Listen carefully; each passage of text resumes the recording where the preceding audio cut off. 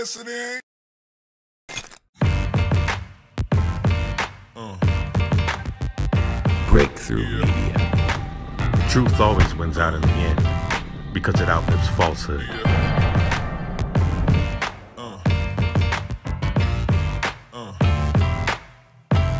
I'm the one that does the preaching here, for those who care to listen.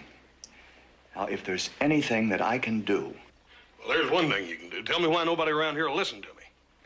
well, if you want people to listen, you've got to tell them what they want to hear. I told them the truth. That's the last thing that most people want to hear. It's time for you to stand on the truth. Time for you to stand for what you know, what you've been researching. And the passion that comes out of B. Tatum comes from the truth. All I do is speak the truth, the whole truth, and nothing but the truth, so help me God.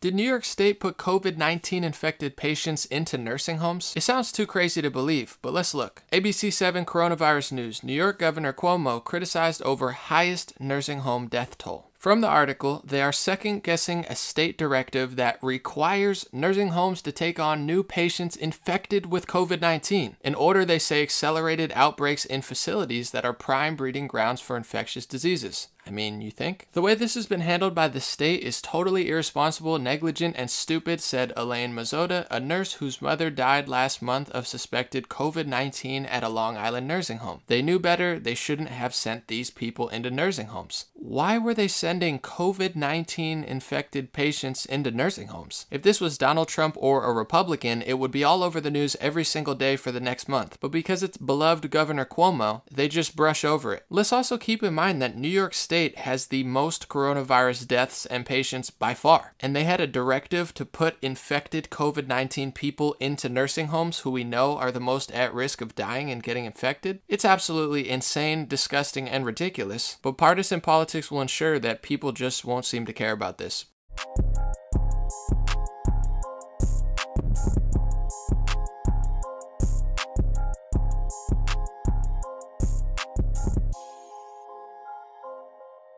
It was also crazy when New York Times broke a few weeks ago. New York City's coronavirus death toll soared past 10,000 after officials added more than 3,700 people who had never tested positive for the virus but were presumed to have died of it. So now they're adding people who never got tested. They also found out that 66% of the new hospitalizations were actually sheltering in place and staying indoors. There's not this massive catastrophic essential worker influx in New York. It's actually the opposite. The majority of people stayed at home. Of course, you're not allowed to talk about how the Department of Homeland Security Science and Technology sector did a study and found out that sunlight gets rid of the virus quicker than being indoors. The virus in droplets of sali- uh, saliva survives best in indoors and dry conditions. And thirdly, the virus dies the quickest in the presence of direct sunlight under these conditions. Because after that came out, the media just screamed Lysol and everybody ran with it because that's pretty much what people do. They listen to whatever the television and news anchors repeat and repeat and repeat, no matter how true it is or not. You also can't talk about how it's been studied that exercise, sunlight, getting outdoors, and social cohesion is actually much, much healthier for people and it lets people live longer. Don't mention that because you just have to go along with the narrative that staying inside is really helpful, despite what I just told you that a majority of the people in New York doing so were inside, and the geniuses in New York politics and health decided to put COVID 19 infected patients into nursing homes. I was going to play a clip from JP Sears, his viral video on YouTube, What It's Like to Believe Everything the Media Tells You, where he talks about real facts and statistics like the antibody tests coming out of multiple places, showing that the mortality rate of the virus is way, way, way, way, way lower than what they originally told us, and the actual spread is way, way, way further. And there's reports of up to 400 people at a meatpacking plant all having coronavirus, but none of them knowing because they show no symptoms and it's that mild. That's all happening, but JP Sears did a perfect satire of it and didn't put it on Facebook because he's so afraid of the censorship on Facebook and he's afraid to probably lose his channel and his money. Listen to a quick bit of him explaining why he didn't put it on Facebook. So yeah, about the viral video.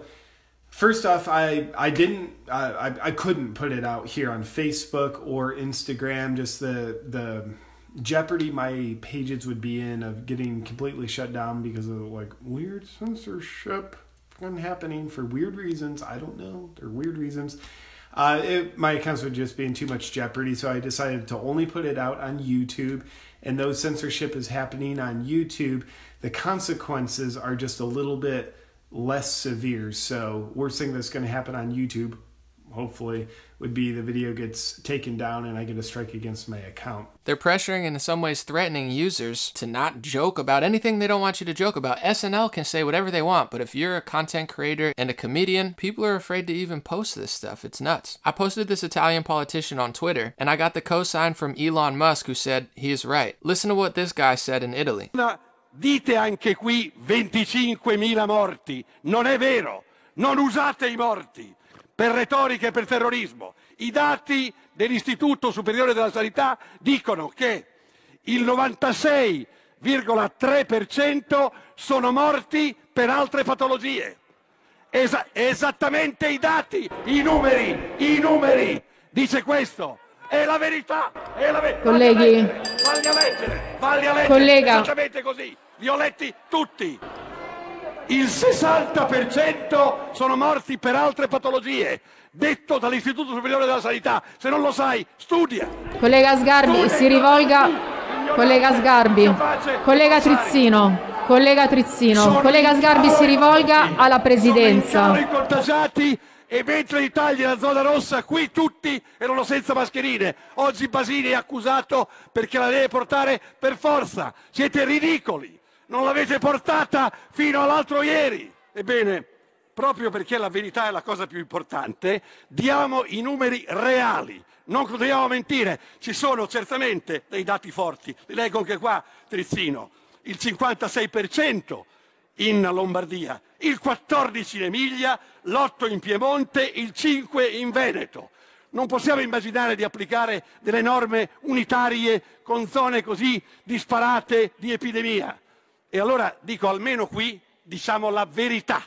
Misuriamoci con la Germania, siamo uniti nella liberazione contro l'ipocrisia e le menzogne, contro le falsificazioni, contro i falsi numeri che vengono dati per terrorizzare gli italiani. I 25.000 morti, lo diceva il professor Bassetti, sono morti di infarto, di cancro, di altre patologie. Non usiamoli per umiliare l'Italia, non usiamoli per dare ai cittadini false notizie. Date i numeri, controllateli e sfido in giurito d'onore te Trizzino a guardare i numeri. Collega Sgarbi si rivolga alla. Presidenza. Ho semplicemente detto che i numeri li danno tutti, ma non diano numeri falsi. Non sono morte in Italia 25.000 persone di coronavirus. Non è vero. È un modo per terrorizzare gli italiani e imporre una dittatura del consenso. È ridicolo. Elon's also suing a part of California because he can't open up his business, and it inspired one politician from California to say, F Elon Musk, despite the fact that he employs tens of thousands of people in their state.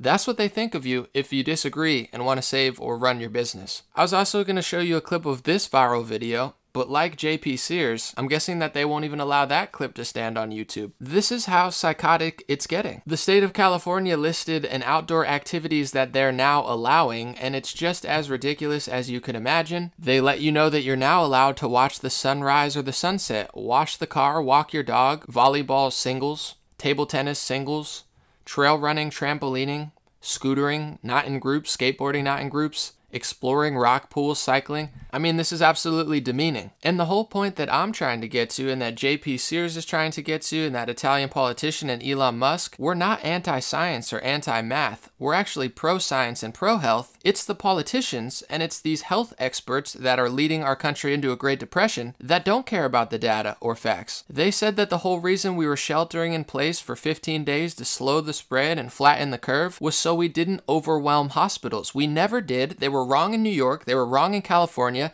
they massively overshot in Florida and all across the country. Georgia opened up a few weeks ago despite what Trump and the Democrats didn't want him to do. He did it and they're facing lower hospitalizations. So all the reasons that they told us they were going to shut down 3.4 mortality rate from the World Health Organization, that's not even remotely close to what it really is. It's much less deadly and it's much further spread. And the symptoms are so mild in most people that they don't even know they have it, like in this meatpacking plant. So the hospitalizations never happened, the mortality rate never happened. Those were the two reasons, but they just keep getting crazier and more tyrannical. And then if you decide to be a doctor or a science expert or just a random citizen who believes in the Bill of Rights and the Constitution, well, you're not allowed to anymore because the Bill of Rights and believing in your First Amendment freedom of speech and ability to protest, that's now illegal. You can get arrested for exercising your First Amendment right, and you can get kicked off of Facebook and YouTube for exercising or showing your First Amendment right. This is absolutely insane. I understand if you have a perspective, but it's not like this, oh, we're being safe. It's not actually safe. This is a perfect meme someone made. We did it, Patrick. We flattened the curve. Small businesses destroyed, suicide, rights infringed, domestic violence, economic collapse, mass unemployment, substance abuse. That doesn't even count the tens of thousands of nurses who are being laid off, the tens of thousands, if not hundreds of thousands of people who are trying to get elective surgeries. And this doesn't just mean plastic surgery. I'm talking about cancer treatments, really serious consultations have all been canceled, and people are afraid to go to the hospital now. So that's why they're laying off tens of thousands of workers. And it does have a health effect to keep people indoors, not exercising, overeating, drinking too much. I'm sure alcohol sales are doing fine, despite the fact that they kill 3 million people worldwide, according to the WHO. This isn't about health anymore. This isn't even about the two things they told us it was about. They just keep moving the goalposts, and then if you just disagree or say what they said a month ago, all of a sudden you need to be kicked off social media or you're not allowed to have an opinion, or you get cursed at by politicians in California. This is crazy. So they're allowed to put COVID 19 infected patients into nursing homes and no one says anything about it, but you're not allowed to protect your Bill of Rights, your Constitution, your small business, your mental health, in many cases, your physical health, your ability to feed your family. That's all now essentially illegal to do on social media or out in public. And to top off the insanity, one Congress member is suggesting H.R. 6666 COVID 19 testing, reaching, and contacting everyone Trace Act. This local news host in California said it perfectly. Have the goalposts moved? First, Governor Newsom direly predicted 25 million Californians would be infected by May. Then we flattened the curve, the mercy went unused, and hospitals were never overrun, which was the goal. Now we're being told we need 14 days with no deaths or a vaccine the goalposts move and move and move and move, and people just keep watching television and listening to politicians speak and being filled with fear and fear and fear and fear and fear. And like Elon Musk says here, we're essentially stuck in a loop until we get a clarity of real information. You, you, you don't even need to have gotten a COVID diagnosis. Right. You simply need to have had one of yes. many symptoms and then have, have died for some reason, and it's uh, COVID. So, so then it, it makes the death count look very high. And then we're, we're, we're then stuck in a bind because it looks like the death count's super high and not going down like it should be. And now, so, so then we, we should keep whatever, you know, uh, keep, keep, keep you know the shelter in place stuff uh, there and, and keep people in their home you know confine people to homes so we need to break out of this this we're, we're stuck in a loop yeah and I think the way to break out of this loop is to have clarity of information. The best way to destroy the fear is with facts, real science, and real truth. The real evidence, the real data that's coming out, which is Georgia opening to lower hospitalizations, which totally debunks what they said was going to happen. Infectious experts said it wasn't going to, but it did happen.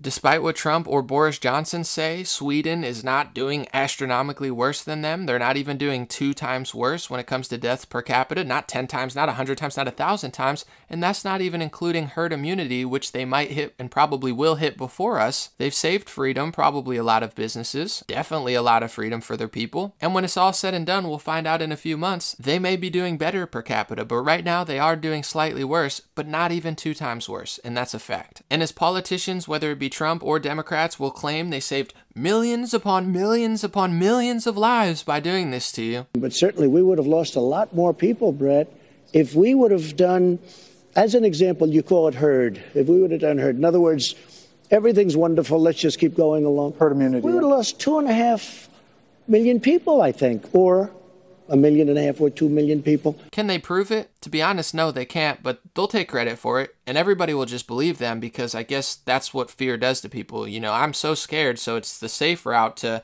threaten the meat industry, threaten hundreds of millions of people worldwide with a possible famine when you shut industries down. Ignore the science of sunlight, immune systems, social cohesion, athletics, jobs, routines, exercises. Ignore all that science and just shelter in place for one month, two months, three months, four months, five months as Governor Cuomo shoves COVID 19 infected patients into nursing homes. But you don't question that. I mean, God forbid you do. You're now an outlaw in the United States of America that was once the land of the free, it's not anymore, and making tyranny, communism, and essentially fascism the status quo, and penalizing, deleting, or arresting anybody that disagrees, is not a country that I want to live in, and it's not a country that millions of people want to live in. And the more you learn the real science and the real data that they're whispering as they're screaming the fear and screaming the exaggerations, it actually becomes much easier to not be afraid. And in the long run, I personally believe, with my American right, that we could save many, many, many, many, many more lives by following the actual data and the actual science and saying what we said we're going to do instead of moving the goalposts, ignoring the science, ignoring the data, ignoring hospitalizations and what it's doing to the hospital industry, and just screaming science while you're ignoring science. The politicians love to do that. I believe in the science. But the science of what they just said, they completely ignored and moved on to the next political agenda and tyrannical power grab that doesn't have anything to do with science, no matter how much they say the word science. These people are power hungry, and this just scratches the surface of it. Boom! Yeah. Thank you for watching this video. Let me know what you think in the comment section. God bless you, and I'll be back with more videos.